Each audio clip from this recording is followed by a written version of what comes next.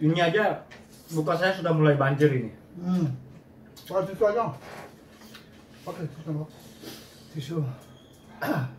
Kalau yang tiba-tiba saya ingat, saya tinggal di Depok, kadang-kadang naik kereta api.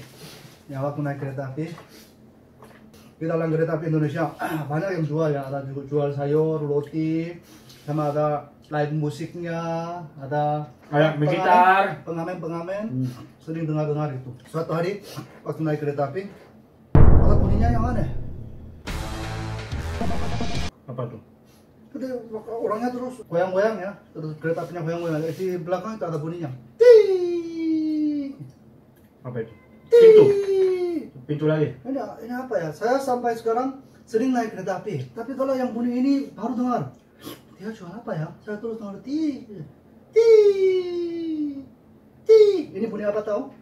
Mungkin pintu, pintu satu lagi. Enggak, enggak, enggak. Apa? Jadi dia itu bunyinya makin lama makin dekat-dekat itu datang. Jadi saya terus lihat-lihat, akhirnya saya tahu. Apa itu? Dia jualnya ini.